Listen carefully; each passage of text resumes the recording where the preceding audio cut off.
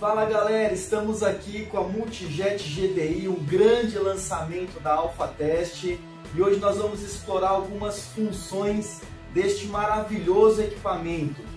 Venha conosco nessa grande aventura.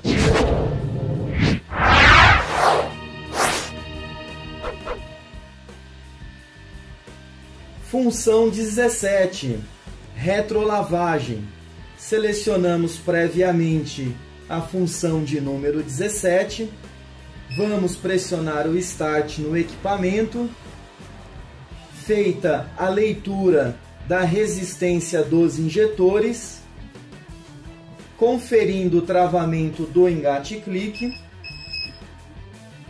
LEDs da retroiluminação acionados, o equipamento emite 5 pulsos de 2,5 bar de pressão para que o injetor possa ser destravado. Lembrando que fizemos a montagem do injetor utilizando estes adaptadores mecânicos. É necessário que a montagem seja realizada de maneira invertida para que então a retrolavagem tenha a sua eficiência.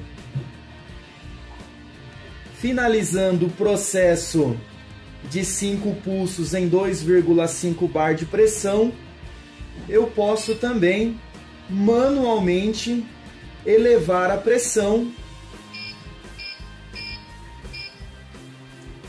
com o objetivo de levar o injetor a uma condição de teste mais elevada.